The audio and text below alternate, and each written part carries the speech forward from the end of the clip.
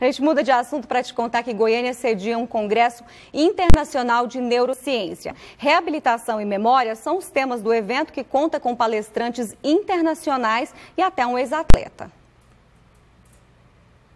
Laís Souza é ex-ginasta e medalhista olímpica. Sempre gostou de fazer esportes e levava uma vida ativa. Em 2014, se tornou atleta de esqui aéreo, conseguindo classificação para os Jogos Olímpicos da Rússia.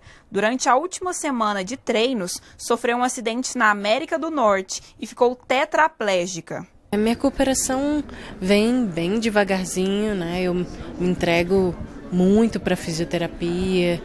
Tenho feito muita eletroestimulação, ficado em pé, mas estou procurando viver a minha vida também, para não, não ficar naquela caixinha, sabe, do estresse e da daquela coisa de você pensar e tentar acreditar que o movimento vai voltar ou que um dia eu vou né, voltar a andar e não acontecer e eu simplesmente é, me frustrar.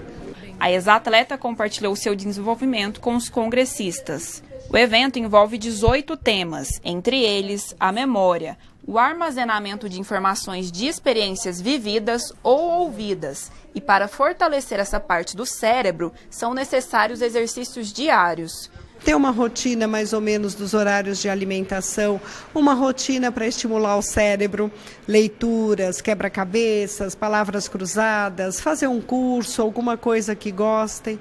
Muitos é, idosos têm problemas de memória, mais pela falta de uma vida rica e estimulante do que, do que provavelmente por causa de uma demência.